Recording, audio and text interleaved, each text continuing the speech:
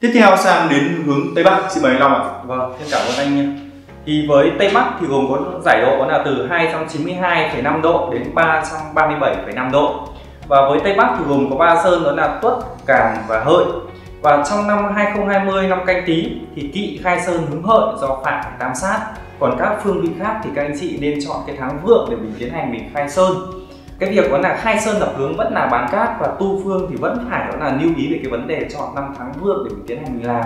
Do đó cụ thể với vấn đề lập hướng thì các anh chị có thể chọn vào tháng 4, tháng 6, tháng 11 và về tu phương thì các anh chị nhất quyết đó là phải sau đông chí thì mình mới có thể tiến hành mình tu phương được.